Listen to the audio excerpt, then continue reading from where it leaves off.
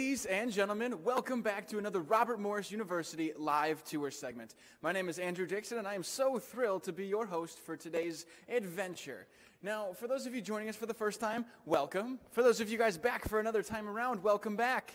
Now, let me explain a little bit about how all of this works. All of this at our Robert Morris University live tours is brought to us by our friends at Georama. And what this does, this allows us to stream and take you guys around to see everything that Robert Morris has to offer that's truly unique and special to us. Now, we are here at our downtown Chicago location, which just happens to be our main campus of Robert Morris University. And we have so far seen a wide variety of different things that we offer, such as our various programs, some of our activities, some clubs and organizations you can be a part of. We've seen some, we saw a, a pig slaughtering. If you haven't seen it yet, go back. There's a, there's, in the archives, there's a, literally, they butchered a hog. Not even kidding. But today I'm here to talk to you guys about something that's really cool and something that is truly unique and just invaluable to us here at Robert Morris University here in Chicago. We're talking about experience-based learning, which is uh, one of the, the cornerstones of our education system here. And we actually had a, a, course, a couple of courses designed specifically for getting out into the city, taking advantage of all of everything it has to see, do, and offer, and all the different rich variety of cultural diversity, the resources, and they, have applied it back to no, their normal college curriculum. So I have a whole group of uh, you know, students and a couple of the teachers that helped put it together to talk to you guys a little bit about everything they did and why it was so awesome for their education and how Chicago is just so advantageous for the things that you're pursuing. So without further ado, you want to follow me? By the way, if you guys have any questions, you feel free to chat them in, and I'll try and try my best to answer them on camera. And following this adventure, there will be a survey which you guys can fill out, which lets us know how we're doing and things we can improve on. So I'm going to go ahead and join my friends over here. They're kind of congregating after their class. I know. So just for the, just so you guys know, they're in the middle of week nine, which is the, the second to last week of the quarter. So they just pumped out a bunch of presentations. So they might be a little tired, but hopefully they'll have some good answers for you. So I'm going to go ahead and pass this around if you guys want to go ahead and introduce yourselves and uh, what year you are, what major you're studying, okay? And then maybe an activity you do here. Hi, I'm Mick McMahon. I am a professor here at Robert Morris University, um, and I teach uh, English, Communications, and Humanities. And uh, the course that we were teaching here, I teach the English 211 component. Uh, and this is the third course you take uh, at Robert Morris University. First, it's COM 101, which is a basic introduction to communication. Uh, and then there's English 111, which is Foundations of Composition and Rhetoric. Uh, all those fun terms, I know. this one is argument in research. So we read a few Chicago novels, uh, and students wrote a couple papers, and we had a bunch of experiences in the class that uh, I'm sure our, uh, uh, our fine students will, will, will tell you all about. So I'll pass this along. Uh, my name is Troy Dignan. Uh, I'm a freshman here at Robert Morris University, and I'm studying business administration. Uh, I also play hockey um, here at this university as well. All right, my name is John Wazdrag. I'm a business administration major as well, and I play volleyball here. Uh, my name is Paige Walker. Uh, I'm a freshman also studying business administration, and I'm actually in the marching band. Hi, I'm Scarlett DeRoos. I'm a freshman at RMU, and I'm also a business administration major, and I run cross country.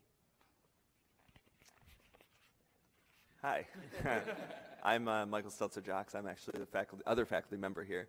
Um, I teach social science and uh, history courses, so I actually teach the class that's right before Mick's English 211. It's uh, SSC 270, which is the Chicago Urban Experience class, which is uh, a very different type of course because what we try to do with this course is to have it halfway in the classroom, uh, kind of a traditional college course, and then half outside the classroom. So uh, throughout the quarter, we've taken numerous trips, uh, sometimes as a group, uh, but often students are expected to do it individually and go out and kind of get that Chicago urban experience.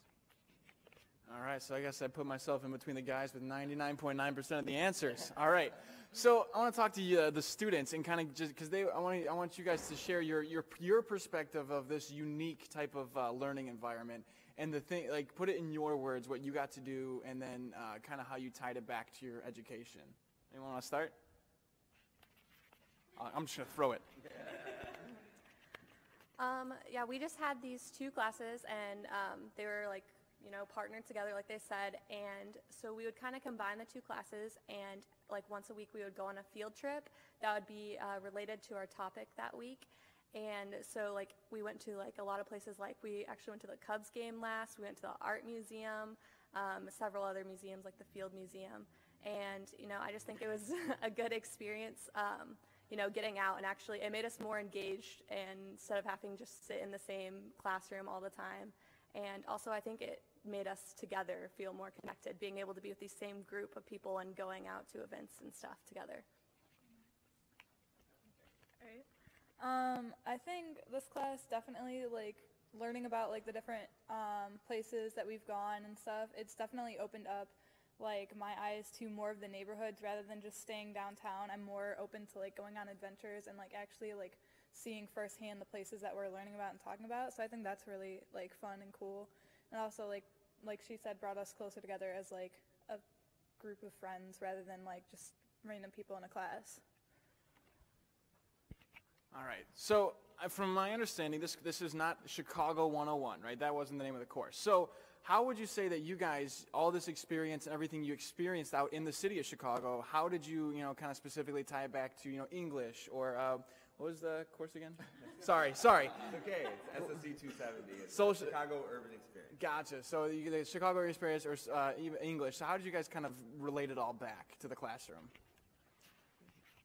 Uh, well, since we were able to go out and visit these certain places that we talked about um, in the classroom, um, it just kind of gave you a real experience with that, and uh, you get to create your own viewpoint on the certain thing that we're either a uh, discussing in class or be something that you have to turn in later, like a like an assignment or whatever. Um, you like get your own personal attachment to this uh, trip, let's say that we take, and uh, you get to just put your own viewpoint on it. And um, put in your own words, and it's it's a cool experience to be a part of this class. And, yeah.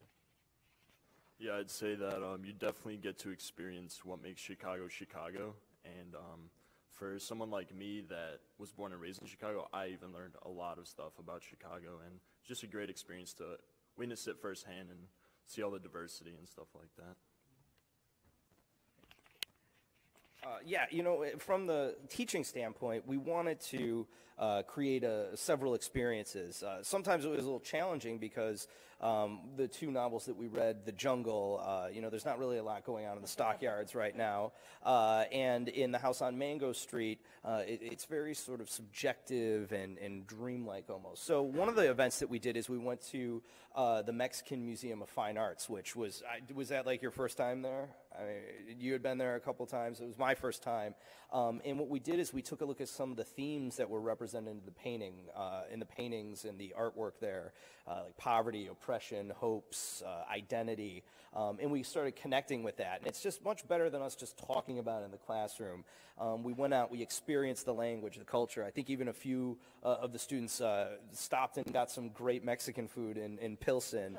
I know I did, uh, which, which was fantastic. And um, it was really cool just breaking down some of the walls, but we, we always wanted to come back to uh, make that connection. Part of uh, experience-based learning isn't just going out and doing it, uh, it's bringing it back into the work. And, and I know that I've read Uh, all of these students' papers. And in one way or another, whether they realized or not, uh, a lot of these experiences manifested themselves in, um, in their thinking. And so that was a really, really great part about it. And so uh, just sort of a, a, sidebar, one of the things we're working on now is because it's so fun to go out there, we don't want to necessarily come back.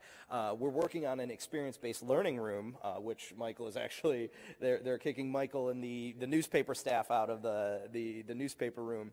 Uh, and we're going to have a different type of room that has uh, lots of places for you to think and to write and to reflect in computers. And it's not that traditional seating. There's going to be some different desks and uh, you could write on the walls.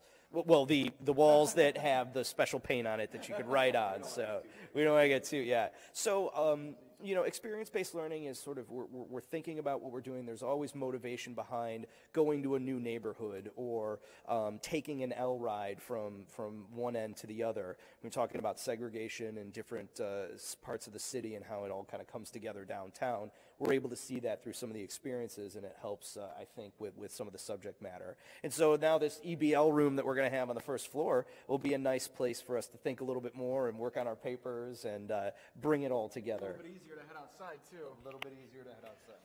Yeah. All right, so I want to get a couple of different perspectives. I'd like to talk to a faculty member and then a student. Why? What, what is? Uh, what's so important, or like now is almost the necessity for this sort of you know hybrid learning environment? What are what are students taking away that they wouldn't just get in a traditional classroom?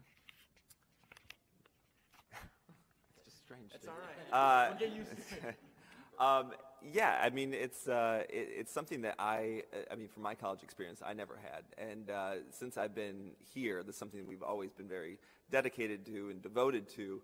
And so, this class being very specific to that, it was, uh, I mean, it's an incredible experience because, um, you know, I could teach a Chicago history class, but I mean, like, to be to be able to get out there and really be there, it's such a different experience. It's such a, a more fulfilling uh, experience. So, like for instance, um, I think it was in about the third week of the course, we actually took a trip up to uh, into a, a. We were talking about food, and so we went up to a Chicago hot dog stand, and uh, and you know, I mean, it's like even I mean, like if you wanted to, you could deliver hot dogs to the classroom, right? We could all eat the hot dogs together, but it was like something about going up to this little kind of hole in the wall place up. Uh, up off of Chicago Avenue and like all the different people walking in and out and kind of just sitting there and talking and discussing and communing around food that made that experience that much more uh, fulfilling and something that I think for the students, I mean, I don't, I can't speak for them completely, but I mean, like for me and Mick, I know we came back and we were just raving about it, and not just the food, just the fun of it, the excitement of it, and something that hopefully, um, you know, in a classroom they might not remember two, three years down the road what we talked about, but they're going to remember that that hot dog trip. Yeah, I definitely think it makes, you know, coming to school a lot more fun. Like I actually want to show up to the classes and do stuff. Yeah, because it's it's it seems just like it's so fun and you're having a good time and like then these people also become your friends, so you want to hang out with them. And but like at the same time you also find out like you are actually learning stuff because we look at the themes like that we're learning with like in English and stuff and a lot of those will also tie back with our Chicago class which is a lot about identity.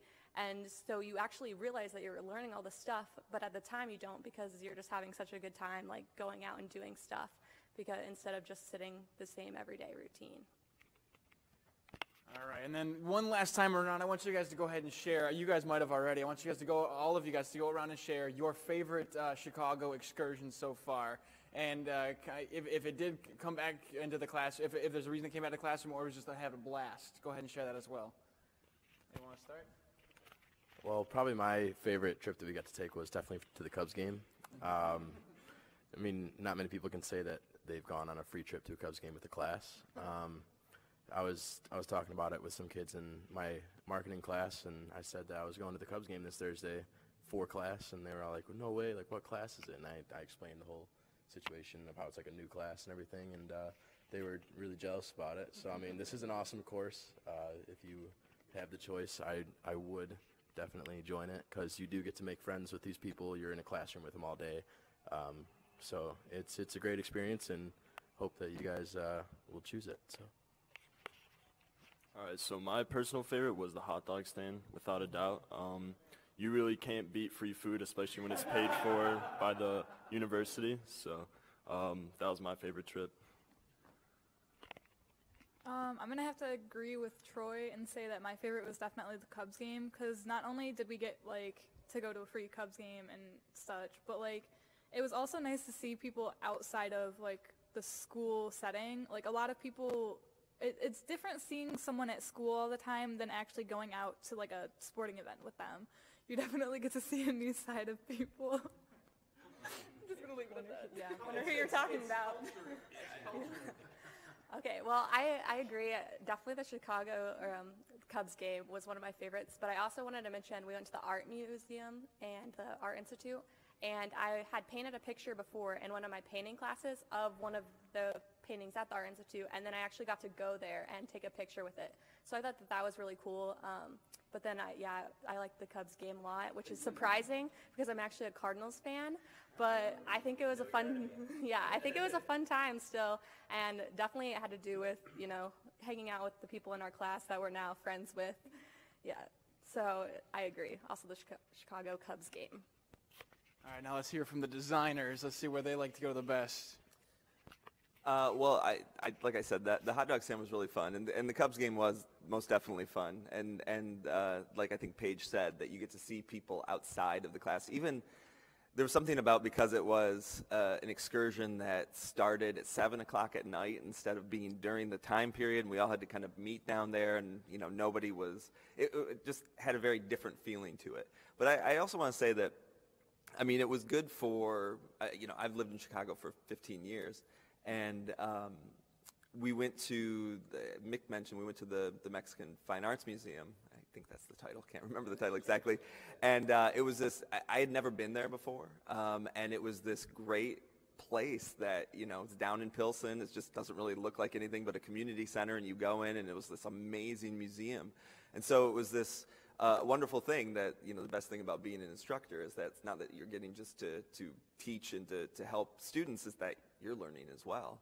So it was this great experience for me as well going to that. So i think that might have been my favorite last but not least oh wow okay this is a tough act to follow you know i mean i think that everybody's really making some uh, some good points and especially without the, the walls like it's it's not about e- even the, the, the, ultimate place i mean that's a very big big important uh, part of it but it's getting there it's that journey. It's getting on the L. It's seeing the people. Uh, we saw gradually throughout this whole class the communities develop, and th- th- this class uh, there's a bond there, you know, and, and they experienced it together and, you know, maybe they got lost along the way or maybe they got harassed by somebody, who knows. but they learned from it. And, and so I, I, loved all of these experiences. You know, Michael's been here for over 15 years.